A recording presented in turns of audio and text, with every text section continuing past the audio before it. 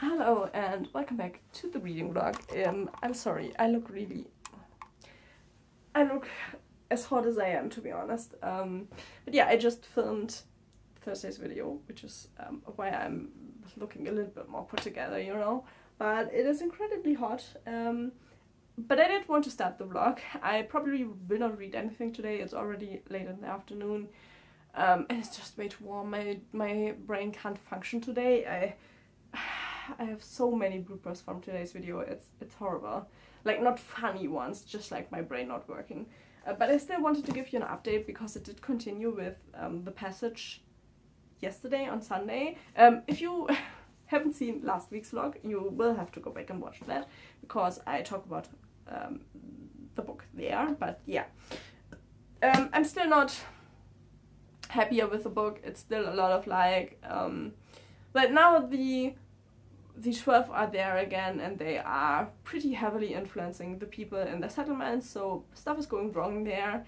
And also they now found out that the um, chip Amy had in her neck um, was sending but they connected to a frequency where the she originally was held as a child and they are still sending the message out if you find her please bring her back which i have no idea how they thought people could read that but you know they found the message. And so yeah our main character peter at the moment our main character peter is now um, probably taking amy maybe also alicia which is one of the other characters. Um, he has a crush on her i think um, but yeah, probably her as well out of the settlement, and I guess they will try to get back to the military facility because they are now thinking that maybe Amy might be the cure, But she might be. We have no idea. Um, but yeah, so hopefully once we're out of the settlement, the story will get better again. I just really dislike the whole settlement section, which is really sad, you know. But I'm now at page 620, so we have like 360 pages left. Um, so my plan is to finish this come Wednesday. That is the plan. So we will have to read a lot tomorrow, but um, yeah, I have good hopes. I don't hate the book. I don't dislike the book. It's just that I would have wished it would have been better. So yeah, but that is pretty much how far I am with that. Mm. And yeah, I hope wherever you live it's not as warm.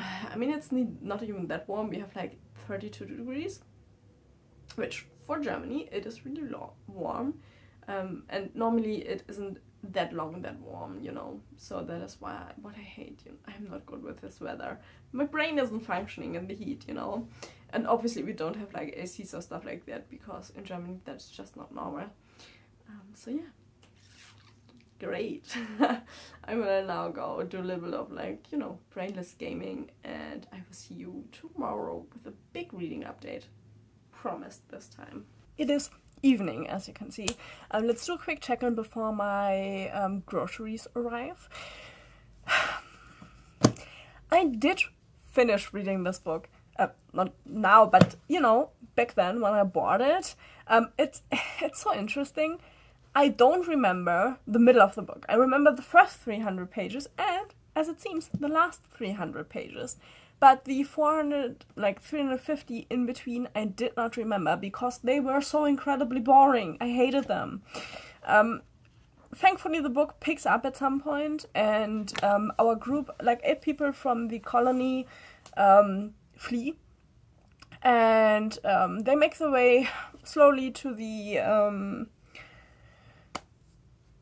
but to the military compound where the experiments were done back in the day, and um, they get to Las Vegas, and there they get um, swooped up by um, a different colony, um, Haven. It's called or New Haven. It's called, and um, yeah, something doesn't seem to be right there um, because that's actually where Babcock is, one of the twelve original jumpers and um, yeah he has this thing really in his grip and uh, there only seem to be women and children there all female.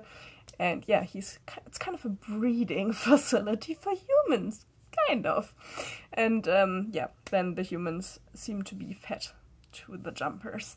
Um so yeah they actually find some people there that also want to escape and i'm at that point now and that is actually a point i remember again. So i I I did have to have finished the book. Like there there's no chance that I haven't finished it. I definitely finished it, and I think the stop I found um, in the beginning of the book was reread I already attempted, and then um, once I've came to like the boring pages, I obviously stopped, and so I didn't remember the boring pages because they're they're so bad.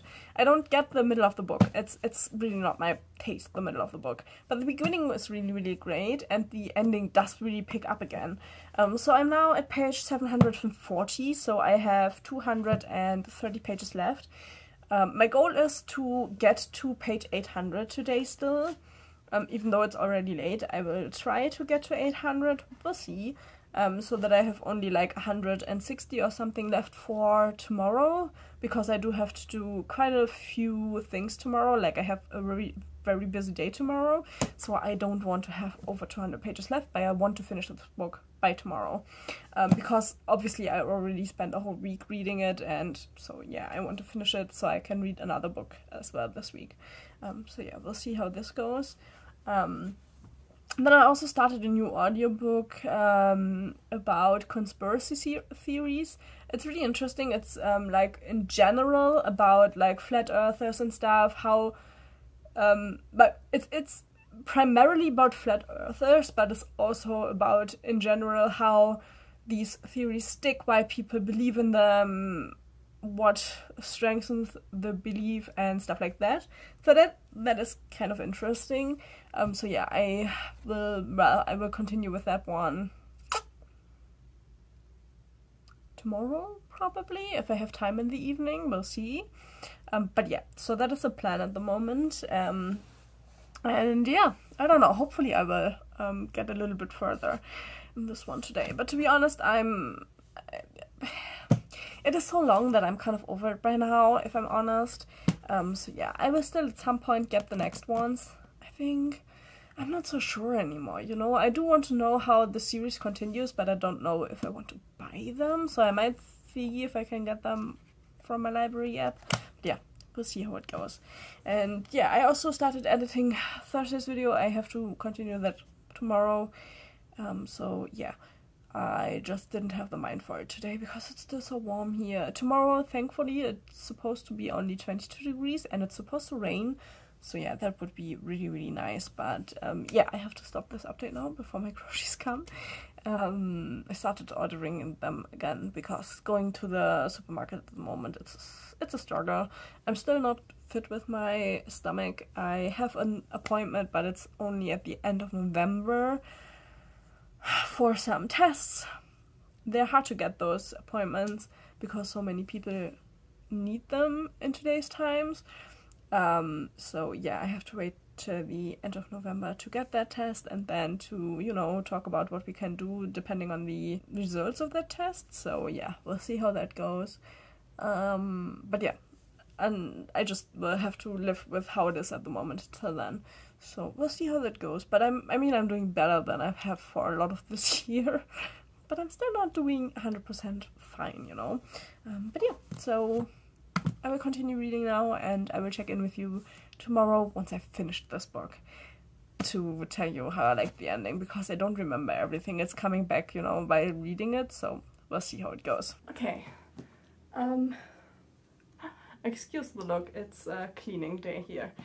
But it is Wednesday and I just finished the passage, just as I promised myself. I did um, read to page 800 yesterday.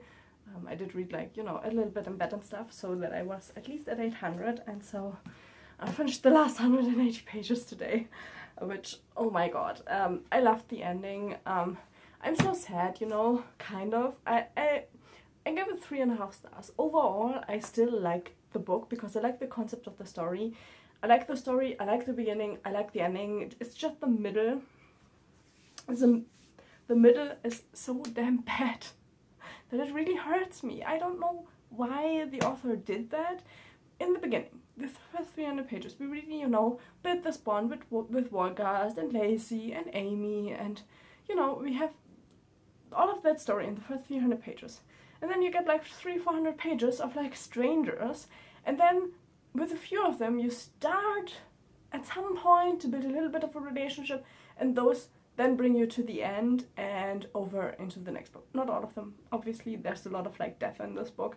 But yeah, so I don't get why our story didn't begin like at the end of those 90 years and we would have gotten flashbacks to the other people before that because those 90 years that we just glance over and get like a little bit of backstory from a few characters but not enough that care about anyone i just think those pages are so badly done i think the way the story is told at that point is just really really badly done and it hurts the story because obviously you don't have a relationship with them, you miss the people you had the relationship with before, some of them don't ever come back, all of that stuff, you know. So yeah, I'm disappointed at that fact that it just didn't work out. But then I think we have to give the author grace because obviously he tried something and I just personally don't like it. That being said, I definitely want to buy part 2 and read that because now I'm really interested to see where we're going. I know I did spoil pretty much the whole book. Um, I won't spoil you the ending. Just so though if you want to know, you know, you have to read it up or go and um, you know, read the book yourself. Just like do some speed reading for the middle part. I don't know. Um, I'm sorry. I'm really really warm.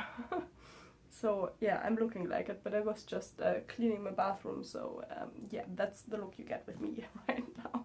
Um, but yeah, I, I don't know. I like the ending. I like the beginning, the middle part. You know, I would just say let's ignore it, but this book is way too big, so the middle part is way too big that we could ignore it. So yeah, I'm kind of sad about that. But I will continue with it because it did. Well, I'm interested to see how the rest of the series is going.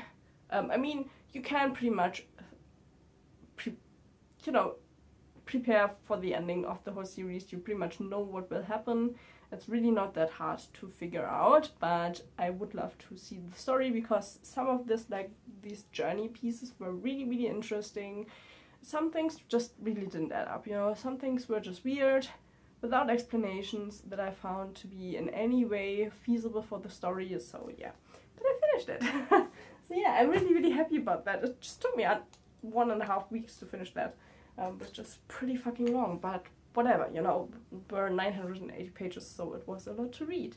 Um, so yeah, let me quickly show you which book I will read next, and then I'm waiting for a package um, with my yarn so I can continue my, um, I think it's called a shrug, you know, those sweaters that just have arms and then go like this. Um, I always wanted one of those, so I'm crocheting myself one of those, but I only have one arm finished.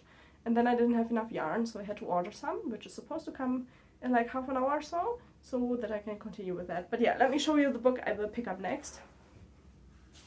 Um, I needed a little bit of like something else, something not so long, and because I do have a few oh so longer books on my TBR, I'm gonna read this one now. Um, and this is Along Came a Spider, the first, how is the name of the main character?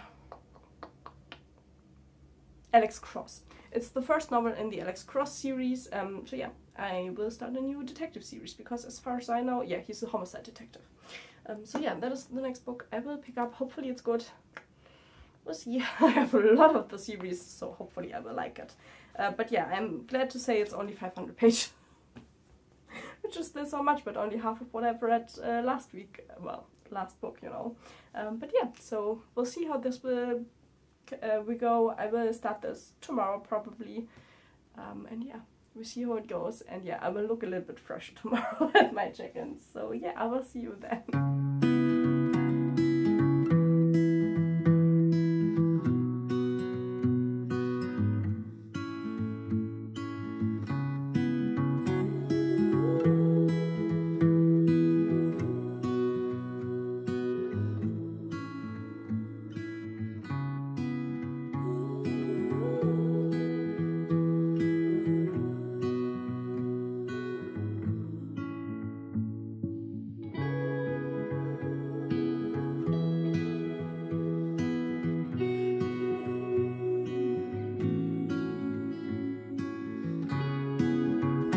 About along came a spider. Um, sorry for the awkward angle, but um, the dog is sleeping on my lap, so what can you do, right? Um, it's so funny because, to be honest, a character that is named Alex Cross, kind of in my mind, was like the typical white middle aged detective, you know. Turns out he's not white and also not the typical detective. He actually has um, is a doctor in um, psychology, and yeah, he is black, and he lives in the the suburb where mostly black people live of of DC. Um, so yeah, so that is already obviously a completely different setup than what, to be honest, most of the detective novels that I've come across are. Um, I do think it was a little bit over the top at the beginning, but I think it also like kind of makes a point, so it's kind of fine. Um, it begins with him kind of like having the case of a serial killer who murders families in the poorer part of town. And the family he is currently working on is um, two adults and I think one child. No, no, one mother, a daughter of 14, and a child of I think three or four. Um, obviously also black. And um, yeah, he is pretty much doing the investigation, and then two white kids get kidnapped from like this prep school for like incredibly rich people, you know. And yeah, he is then forcibly removed from the other case and moved to the kidnapping case. And he is angry about that. And that is understandable, you know. Obviously, he's like, yeah, you could tell somebody else to work on the kidnapping case. Um, so that I can understand. What I cannot understand is I was always under the impression that obviously if there's a kidnapping that that has kind of a higher priority because you assume that the victims still live and obviously a living victim has kind of a little bit of a higher priority than a dead victim. You know, not that there you know there there isn't it's not that they're worth more, it's just that you obviously could have the hope that you can get them back alive. And obviously, for the first family, that isn't possible anymore. So I found that to be a little bit like.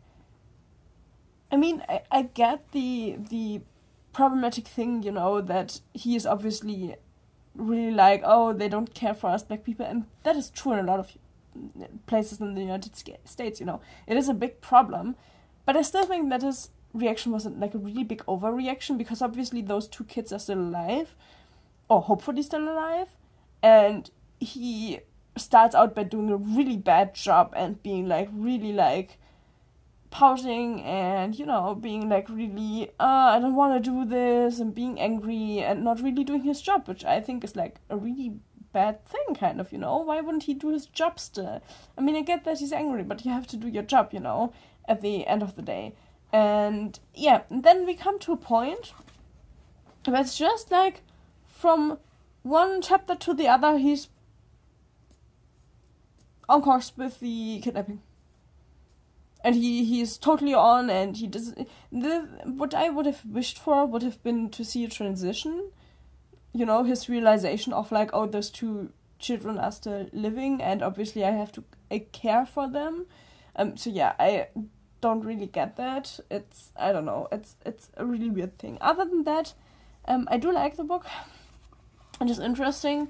We um are now doing the kidnapping case. One of the children, sadly, is already dead, and the other one is still held by the perpetrator. And as it seems, we get the perspective of a lot of different people, and one of them is the perpetrator, and he kind of like narrates a little bit and he kind of tells us that he has already killed like over 200 people and he's like a real pro and stuff so um, yeah he's a real psycho he actually um, buried a child, child alive uh, when he was a child himself, I think, or like um, a teenager or something like that. So yeah, it's it's really like hefty. Um, but yeah, I, other than that, I really do enjoy that. I think it's a nice, different perspective. Um, but yeah, so I'm really interested to continue with this. I'm 100 pages in now. Um, I think the case is really interesting, and so yeah, I'm looking forward to continuing reading this. Um, hopefully tomorrow I can get like, I don't know, 200, 300 pages done. That would be great. I mean, ideally I would finish this tomorrow, but I haven't the highest hopes. Um, because I still have like 400 pages left. And let's be honest, I rarely read 400 pages in a day. um, but yeah, so I will now do a little bit more snuggling with the dog, and then I am nearly finished with one of my crochet projects, so I want to finish that, and I will do that in a minute. And yeah, it's Friday. I finished work for the week, which is nice, and it's like a really nice day out. And yeah, probably we'll do a little bit of gaming as well. We'll see. I will see you with the next reading up. Good morning. It is Saturday morning, and believe it or not, I already finished Along Came a Spider. Wait, let me close the blinds.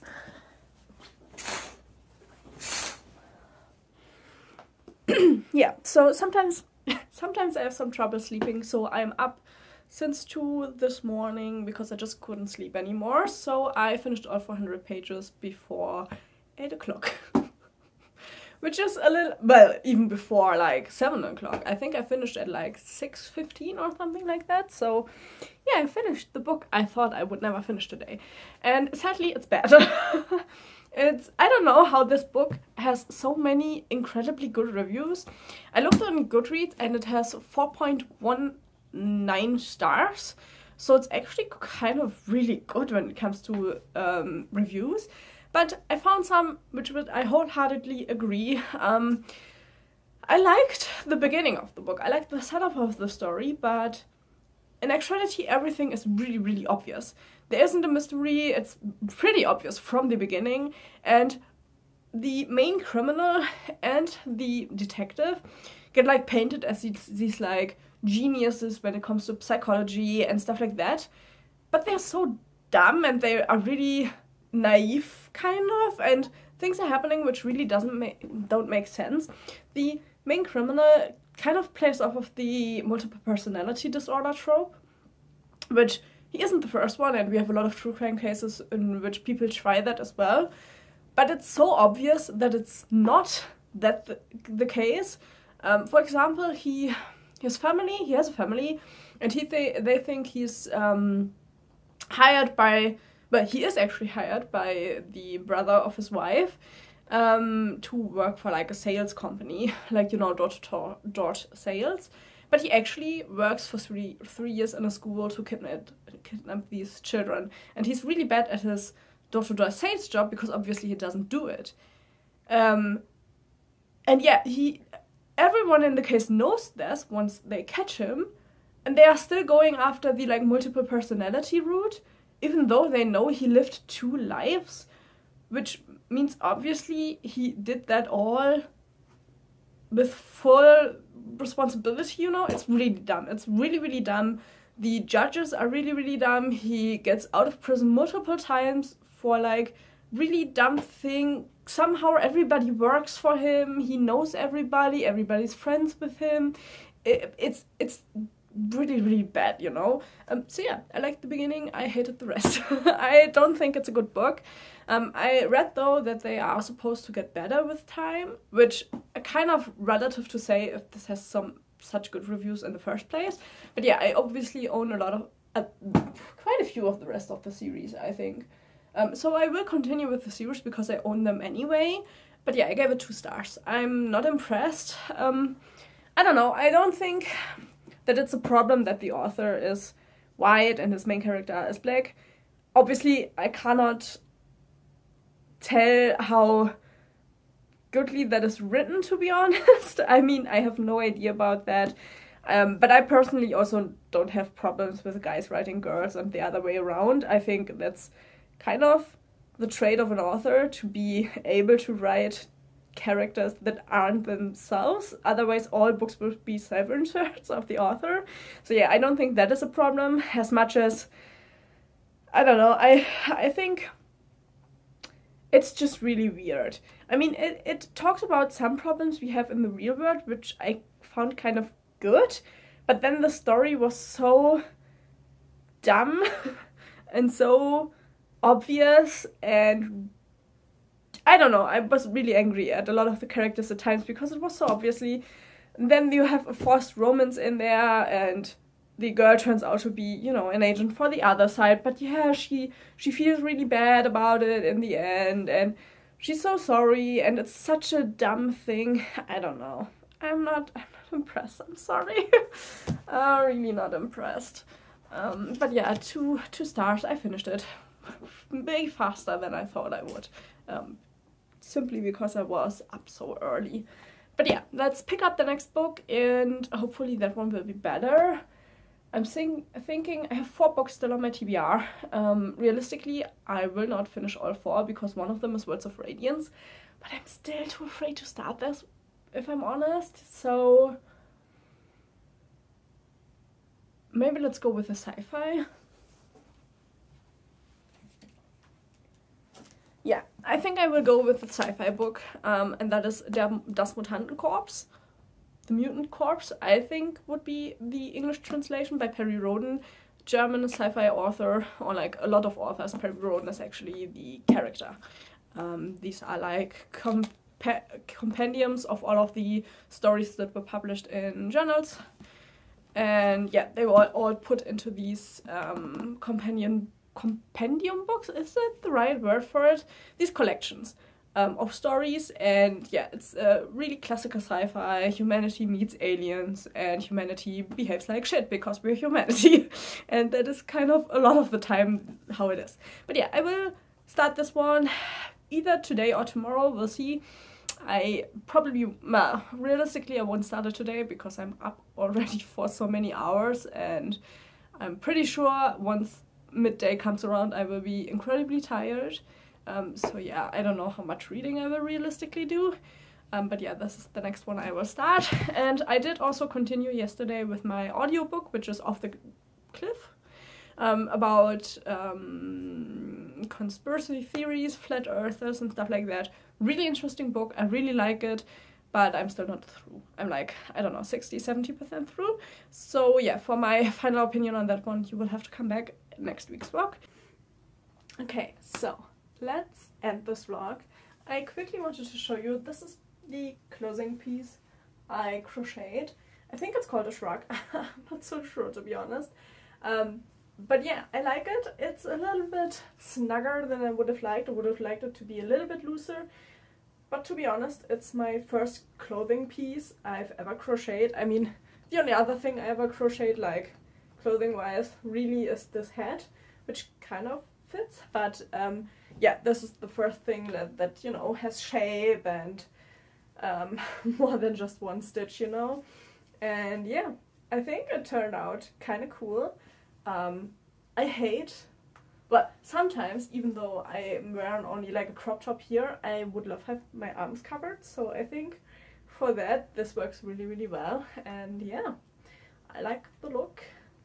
Um, if I make another one of these, I will probably make it a lot looser.